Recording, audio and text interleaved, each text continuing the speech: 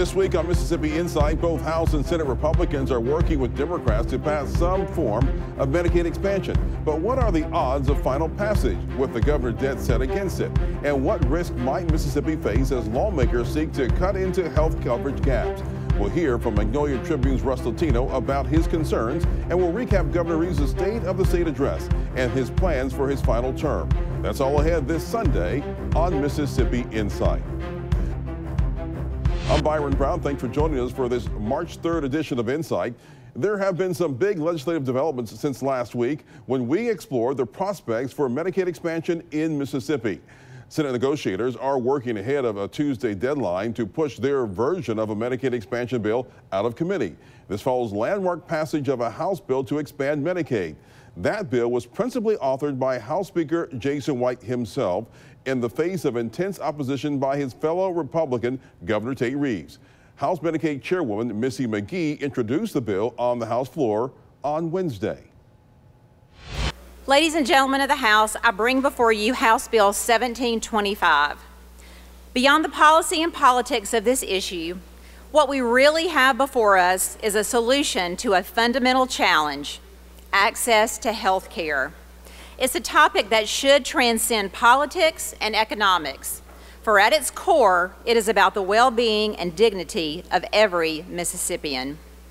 Providing opportunities for health insurance is not just a matter of policy, it is a moral imperative and a reflection of our state, our, the values of our state. Unfortunately, we as lawmakers can often find ourselves being accustomed to some of the negative indicators regarding our state's quality of life. We hear them a lot. But what we have to remember is that these statistics aren't simply numbers on a page. They reflect the tough circumstances faced by actual people. They show the poor conditions experienced by many of our citizens. We need to feel these things. We need to feel the fact that Mississippians have the shortest life expectancy in the nation. We need to feel the fact that we have the highest rate of preventable deaths, meaning that more Mississippians die unnecessarily than anywhere else.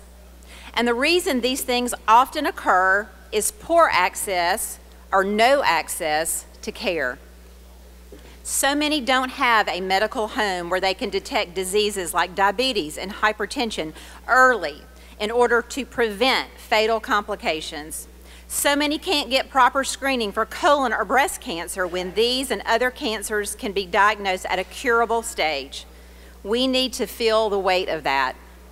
Furthermore, we need to own the fact that women, that getting women access to primary care before they get pregnant allows them to be healthy when they do become pregnant. Because if we don't, and a woman gets pregnant, already having hypertension and diabetes, and in many cases not knowing that she has it, this immediately puts her pregnancy at high risk, meaning that both the woman and the baby have a greater risk of death. This is why Mississippi also leads the nation in maternal mortality, infant mortality, and fetal mortality. Despite our best efforts, we need to understand Mississippi can still be a very dangerous place for an unborn child. Simply because women of childbearing age aren't getting the prevent preventive care they need before they get pregnant. We need to feel that. For more than a decade, our state has said no to the provisions offered by the federal government to provide basic coverage to low income working people of Mississippi. In fact, many of the leaders in our state, good, well intentioned people, have refused to even allow a conversation to come forward in the form of a bill. Yet we have, we have yet to offer anything that can actually address the problem. No one has presented a better or more affordable way, and no is not a policy that has helped or will help low income working Mississippians. Over the last 12 years, Mississippi has experienced the benefits of conservative leadership and seen the positive results that come from conservative policies. As I've traveled across the state visiting with business leaders, community officials, and ultimately voters, the most consistent message I hear is a demand to address the shortfalls in our healthcare accessibility and availability in Mississippi. I found the desire to keep Mississippians in the workforce and out of our emergency rooms transcends any political party and impacts all regions of our state. Our determination to improve access to health care is a vital piece of the economic puzzle as a healthy workforce supports a healthy economy. The House of Representatives approach, called Healthy Mississippi Works, will provide real, affordable solutions for our state's hardworking, low-income population. Healthy Mississippi Works, which passed off the floor today by a large vote margin, will cover the age group of 19 to 64 earning up to 138% of the federal poverty level and require employment for at least 20 hours a week in a position where health insurance is not provided, or alternatively, the individual must be enrolled full time in school or a workforce training program. The program will come at a minimal, call, minimal to no cost to the state, with the federal government providing 90% of the funding, and the remaining 10% will come from Mississippi's managed care organizations through a tax. We have also added a four year repealer to this legislation, which essentially makes this a pilot program that will exist for four years at little or no cost to the state and will allow us to collect true statistics on Mississippians and compile information on these beneficiaries and allow the legislature to make informed decisions and changes if needed or ultimately end the program if it is truly found to be unsuccessful. Our desire is to get this right. Governor Reeves reacted quickly to the House effort. He wrote on social media, quote, the truth is this, Representative McGee's bill is straight Obamacare Medicaid expansion.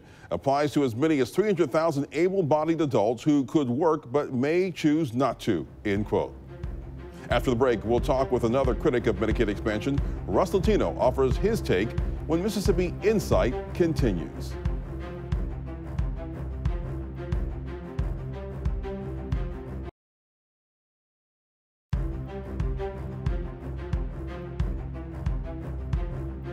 As we continue to explore potential Medicaid expansion at the state capitol, it's important to realize that such a move could be very complicated, and we won't be done without some level of risk, as our next guest has written.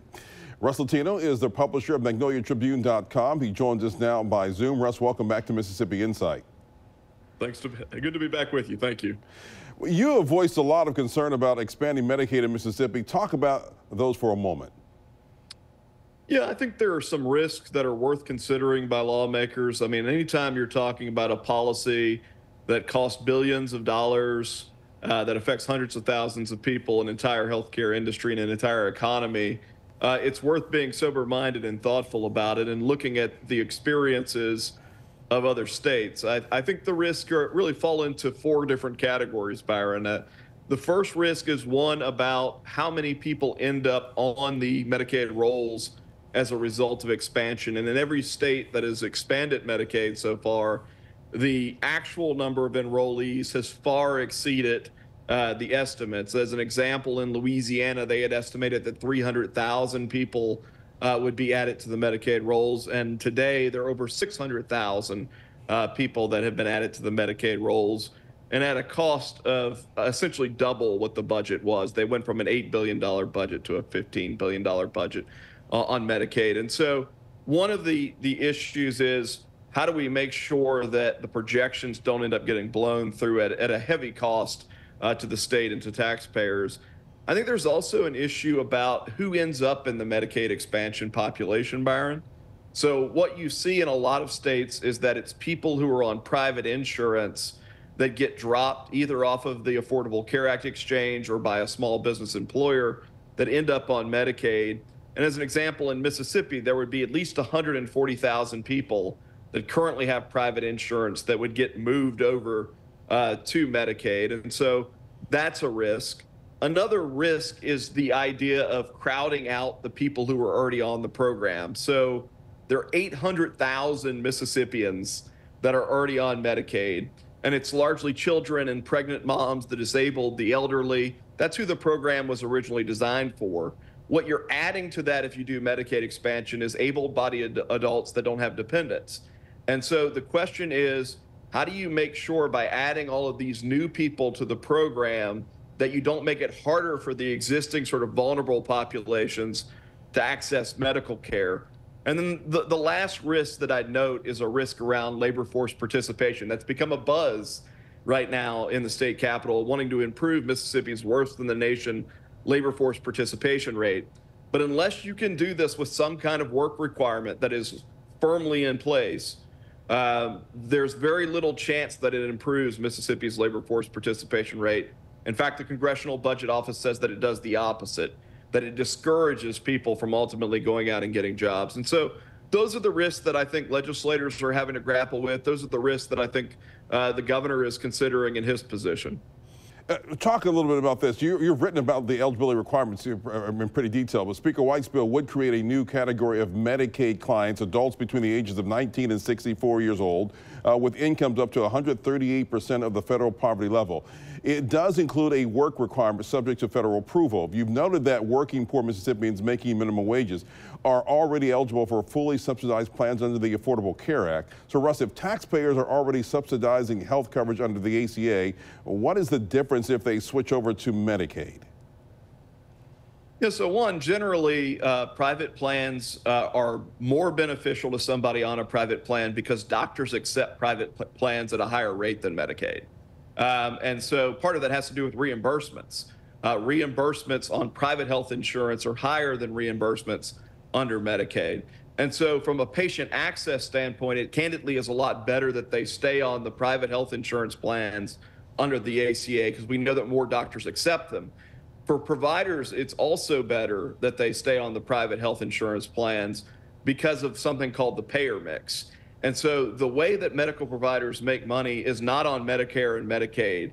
Uh, those are those are volume customers, but oftentimes they pay under the cost of the actual care they make up the difference with private health insurance that pays over the cost of the care.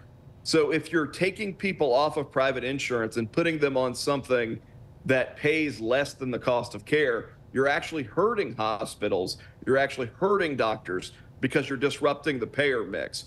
And so one of the thoughts here is that you'd be far better off trying to cover what's called the coverage gap, which are people who aren't eligible for Medicaid but also aren't eligible for these ACA exchange plans. And that's about 74,000 people in, in Mississippi that you'd be better off trying to figure out how to get insurance to that 74,000 than taking 140,000 off of private insurance and disrupting what providers get paid. Uh, but those who are on the ACA plans, uh, wouldn't they have really better coverage under the Medicaid coverage, uh, possibly with more coverage and maybe less deductibles? Well, not really. I mean, again, the access to care issue comes into play that if you know that doctors accept Medicaid patients at a lower rate than what they accept people on private insurance means that it's harder to get in to see a doctor if you've got Medicaid. The other thing is that with these fully subsidized plans, they not only fully subsidize the premium, but there's something called a cost sharing reduction that the federal government applies so that the, the most that you could pay out of pocket on one of those plans is 7% of your adjusted gross income. Uh, and so uh, the, they are affordable plans, not just in terms of the premiums being fully paid for, but they're also affordable in terms of copays and deductibles.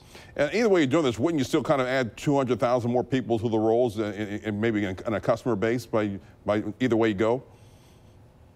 Well, I mean, no, in the sense that there are already people that are on ACA exchange uh, plans, right? So you've got 140,000 people that are already enrolled in those plans you're effectively moving them off. Then you're adding the 74,000 that are in the current coverage gap. But then there's this other pool of people out there that nobody's talking about, which are people that have chosen not to sign up uh, for the current ACA plans. And you could end up seeing something like you see in Louisiana or Arkansas, where there are a lot of people out there who presently aren't aren't choosing to be on one of those plans that end up on Medicaid and blows way past the projected number of enrollees. Uh, you've said you're worried that the big federal match on Medicaid spending is not necessarily permanent. Uh, couldn't the same be said about the so-called Obamacare or the Affordable Care Act, uh, which former president himself has called, uh, former President Trump has called uh, for its elimination? Yeah, so so certainly anything that the federal government funds could be could be changed, right? And so I think those risks are at play either way. I think one of the ways, you know, if you did full expansion and you took all these people off the private plans that they're currently on, that's an immediate disruption to the marketplace versus some unforeseen future disruption to the marketplace. And I, I think most people would understand the difference there, um, you know, in looking at those two things. Uh, but certainly, it, it is true that at some point the federal government may look at everything it's spending on healthcare and decide that states have to spend more of their own money. Um, and, and what we've seen in every state that's expanded is that the programs end up costing a lot more than what were anticipated. As an example, Mike Pence in Indiana uh, passed what was considered a conservative version of Medicaid expansion back in 2015 Currently, that program has a billion dollar budget hole. Um, and so they're having to make cuts to other programs in the state to try to fill the billion dollar budget hole that was created uh, by virtue of expansion in Indiana.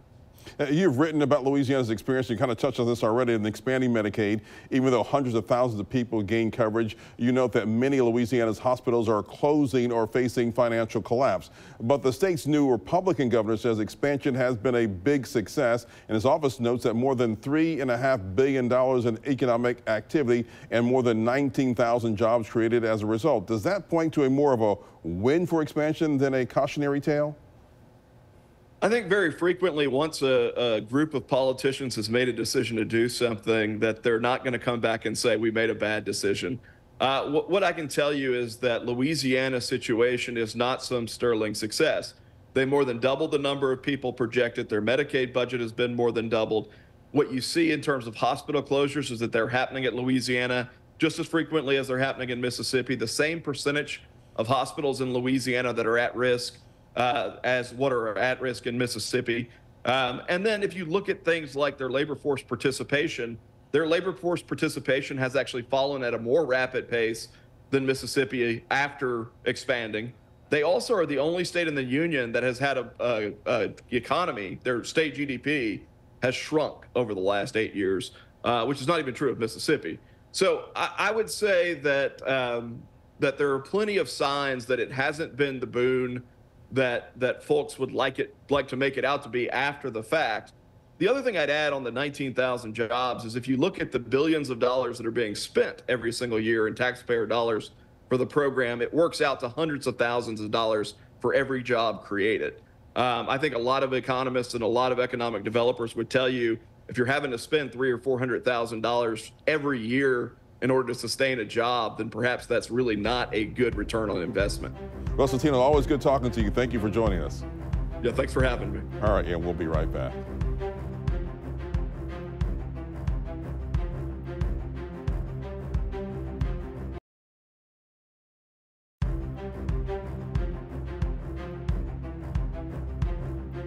There was generally no mention of Medicaid expansion or health care last Monday as Governor Reeves delivered his State of the State address to lawmakers.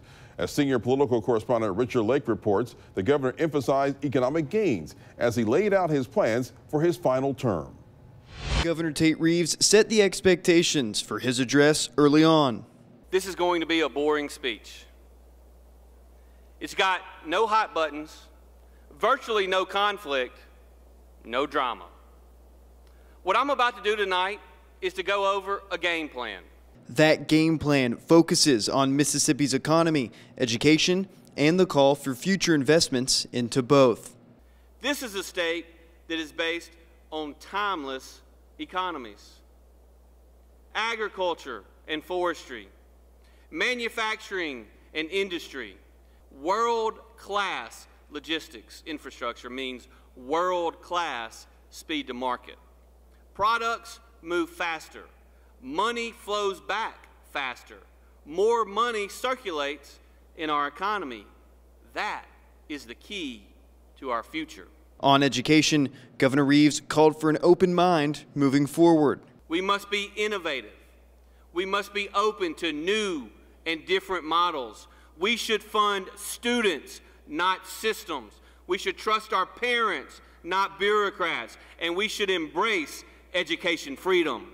Governor Reeves did not say the word health care once in his speech, even as Lieutenant Governor Delbert Hosemann and House Speaker Jason White have both sponsored legislation to expand Medicaid. I don't think there is any more pressing, more of an emergency issue than the health care crisis in this state, and not one word about it from the governor. And as Governor Reeves continues to tout recent economic development projects across the state, Democrats are still frustrated that areas west of Interstate 55 have been left out. I would like to have heard the governor say, you know what, we have not paid attention to one part of the state where uh, the majority of the African Americans in this state live. We're going to make sure that that part of the state that has double digit unemployment, that has a high poverty rate, that has no job creation, that we're going to do something about that. Reporting in Jackson, Richard Lake, 12 News.